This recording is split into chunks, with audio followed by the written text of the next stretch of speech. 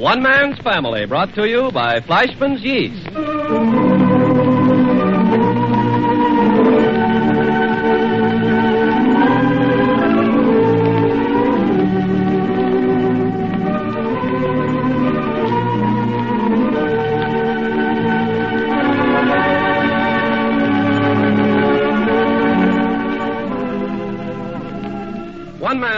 Is dedicated to the mothers and fathers of the younger generation and to their bewildering offspring. Tonight we present Chapter 8, Book 44, entitled Thanksgiving at the Dairy Ranch.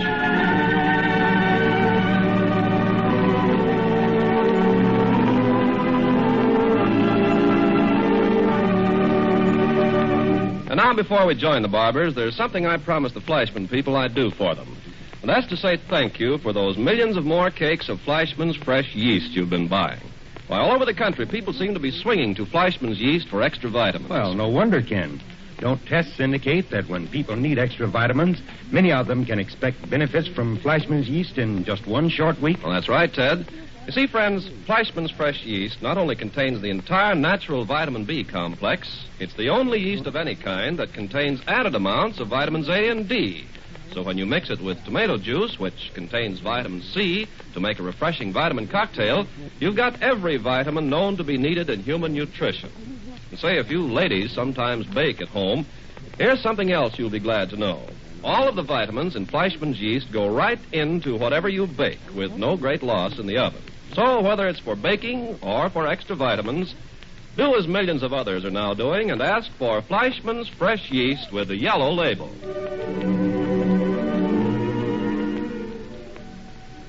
Today is that certain day. This is the occasion of the annual trek of the Barbour clan to the country for the one and only purpose of sinking a fang into a turkey leg, or a wing if you happen to be so namby-pamby in your taste as to prefer light to dark meat. Anyway, big and little Barbours alike are down at the dairy ranch to do justice to the ancient and honorable custom of passing up the plate for seconds and thirds. They're here not only to eat, but to give thanks that not only are we allowed the noble bird for the table this year, but likewise a bit of cranberry sauce and bread dressing, although uh, I prefer oyster and rice dressing myself. The hosts are jointly Cliff and Irene and Hazel. And just now at 12 noon, Irene and Hazel are up to their elbows in parsley, turkey bastings, mincemeat, hard sauce, and all the other ingredients of the satisfactory Thanksgiving dinner. And woe be he who intrudes in the sacred precincts of the kitchen at this crucial hour. That's why all and sundry have been summoned out in the front yard by Paul from underfoot. All right, quiet, everybody. Yeah, quiet. Goodness, such a big voice for such a little boy. what do you mean, little? Oh, cut to the quick. Now, if I may have your attention, please. Are we all here? Why, sure. Anybody who isn't here, speak up. You're such a dope, Jack. Does that keep you from being nuts about me? Uh-oh, makes me nuttier than ever. oh, for goodness sakes, are we just going to stand around and listen to Jack and Betty? Yeah, let's do something. First, we've got to have the roll call. That's the first on the list, isn't it, Paul? Well, if we're all present, well, No, we always have a roll call. Yeah, sure we do, Uncle Paul. well, if you insist, quiet for roll call. We'll start at the top of the list. Henry Barbour, sire of the clan and noblest Barbour of them all. Thank you, Paul. Thank you. Think nothing of it. Fanny Barbour, our mother and the power behind the throne. Mom's with the little children up in the nursery. Doesn't she want to go for a walk? She said not. Hmm. Paul Barbour, he- here, and mighty glad of it. And that goes for us, too. I should say so. Next, uh, Hazel Barbour Herbert. Absent. Hey, what do you mean absent? She's on special Thanksgiving KP duty, up to her knees in rice and oyster dressing. I prefer old-fashioned bread dressing myself. Oh, you're good. Hey, why don't we give three cheers for Mom in there working to give us a good dinner? Good idea. Six for Hazel. rock, rock, rock, rock, rock, rock. Hazel, Hazel, Hazel. hey, look, that goes for Irene, too. She's in there beating her brains out right alongside of Hazel. gone right. Six for Irene, everybody. Rock, rock, rock, rock, rock, rock. Irene, Irene, Irene. Hey, what's going on out there? Oh, hello, Irene, honey. We're just giving the cooks a big hand. Well, thanks very much, but you're making the cooks very self-conscious and nervous. Hi, Hazel. You'll have to excuse us now. We've got other things to do besides stand at the kitchen window. How's the turkey coming, Mom? You'll find out in good time. Shut the window, Irene. Goodbye now. Boy, it sure is wonderful to have a lot of good cooks in the family, isn't it? Come on, let's get on with the roll call. It's taking all day. Yes, you're quite right, Joan. Uh, next, Clifford Barbour. Here. Claudia Barbour Lacey. Present. And am I glad that I'm out here this year. That's right. Last year you were the hostess. And chief cook and bottle washer. And a mighty good one. Jack and Betty Barbour. Here. Hey, that's sort of crowding us, isn't it? Saying our names together. Ah, but I thought you two were one now. What do you mean one? Was Elizabeth Sharon Ann? We're three. And if you don't think Elizabeth Sharon Ann is a person. Hey, are we going to talk about babies? Excuse me, Aunt Betty. I didn't mean to interrupt. You're quite right, Pinky. We'll save Elizabeth Sharon Ann for some other occasion. Go on, Paul. Um, Teddy Barbour? Present and accounted for. oh, just who is accounting for you these days, Teddy? I am, Cliff, and doing a good job, too. I bet you are that. Go on, Paul. Oh, yes, um, who else do we have on our roster? Hey, what about me? oh, yes. Henry, alias Hank Herbert. Present and accounted for. William, alias Pinky Herbert. Here I am. Good. Joan Roberts Lacey. I'm present. Hey, here comes Dan Murray. Hey, Dan, come here. For goodness sake, Dan, where you been? You almost got left out of this. Well, I've been putting on my new bib and tucker. Oh, a doggone clothes horse. Well, hardly. But I didn't want to sit down to the Thanksgiving festivity smelling of Her Majesty the Cow. well, you're just in time for roll call. Daniel Murray, first officer of the dairy ranch and handmaiden to our friend the bovine.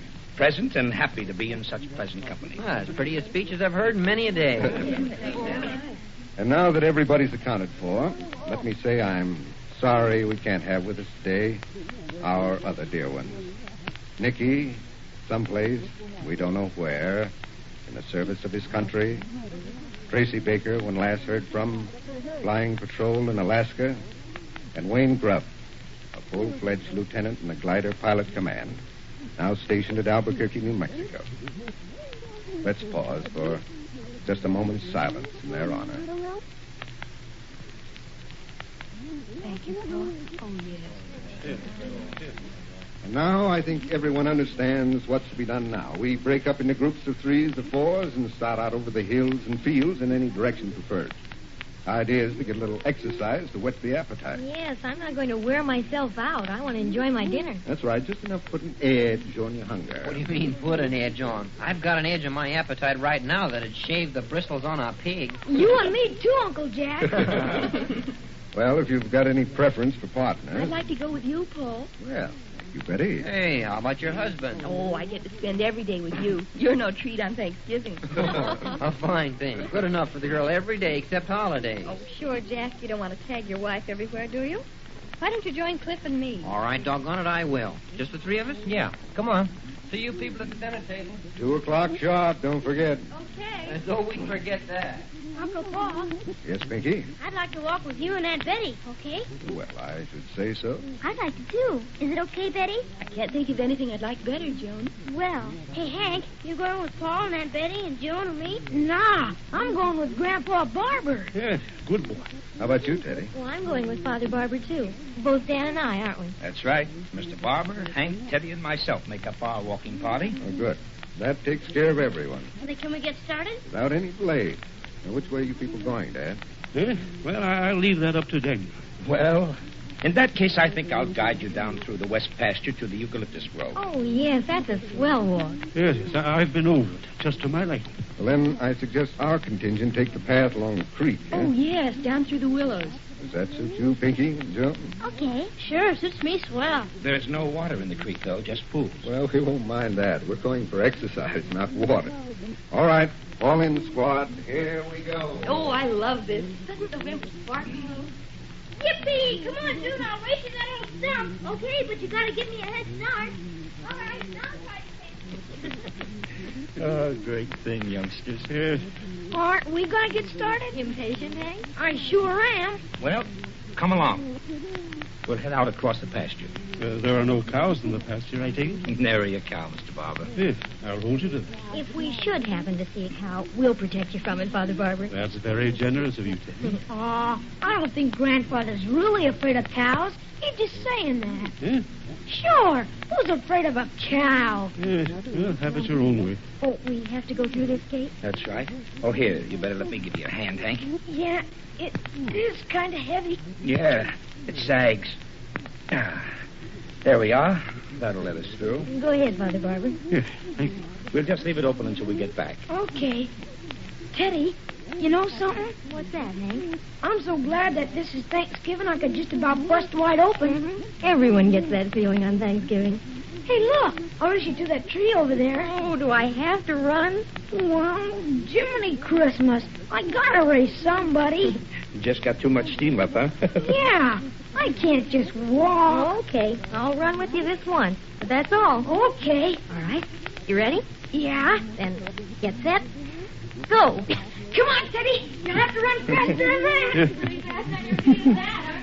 that. oh, Teddy's a very good companion for children. Yes, grew up with Hazel's boys. Yes, and from what I hear, the same can be said of you. Oh, sure. I like children. Yes. Under those circumstances, it's surprising you're not the father of a large family. Well, first a man must line up the right woman to be their mother. Yes. Good, upstanding lad such as you. Well, thank you, sir. Hmm? It's been almost 20 years since anyone called me a lad.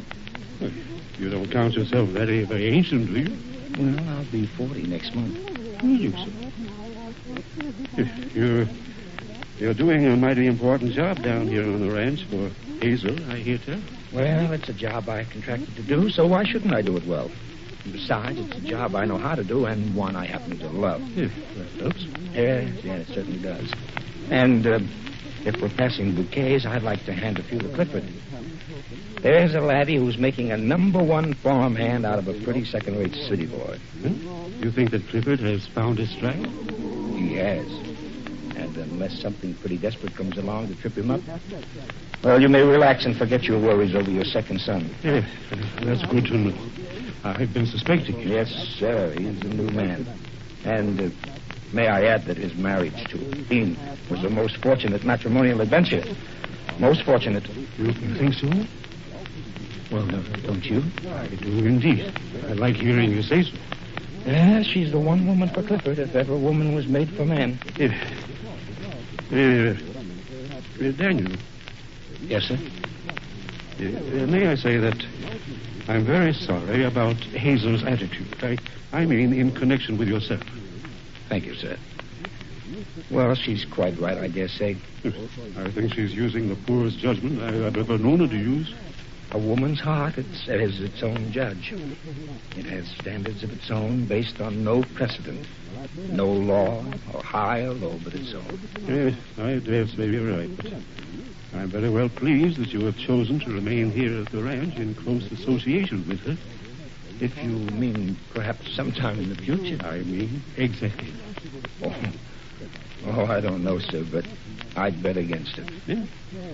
Are you just being philosophical, or, or have you lost interest? Lost interest?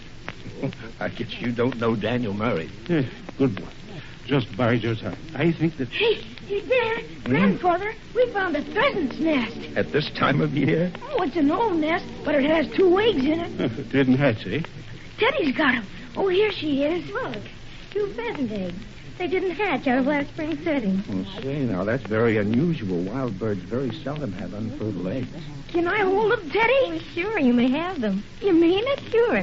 Here. Oh, boy, that's keen. Uh, who's that over there by the willows? Where, Father Barbour? Oh, that's Paul and Betty's gang. Yeah.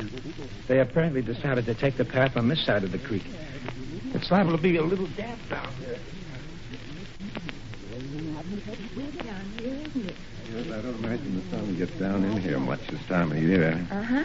But now the leaves are coming off, there ought to be more sun. Joan, well, be careful about stepping off the path. What, Paul? I was just walking in the dead leaves. Yes, but the leaves cover rocks and chuck holes. Sure. Step in one of them and see where you'd be. Oh, where? Flat on your face with a twisted ankle. And then how would you enjoy Thanksgiving dinner? Okay. But I bet I wouldn't. Oh, there isn't very much water in the creek, is there? Uh-uh. Just in pools. But wait till we get a good rain. Yeah? Sure. Just one big rain, and then you should see the water come steaming down. Aren't we going to cross back over? Well, let's wait until we get to the bridge, eh? Yeah, it's just up ahead. Mm, I like it down here. The way the path twists back and forth across the creek under the willows. Oh, look, he's sitting on this log. A toad. Oh, must be a dwarf. He's so little. Oh, that's no toad. Sure, it's a toad. Look at him, blink his eyes. Oh, he's cute. He is neither a toad, is he, Uncle Paul? Yeah, I think he is, Pinky. A tree toad. I wonder if he remembers when he was a tadpole. Sure.